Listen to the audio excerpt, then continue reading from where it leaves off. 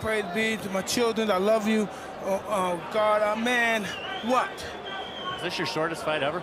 In any time, amateur, professional ever? Assalamu alaikum, Maida. Um, I don't know, man.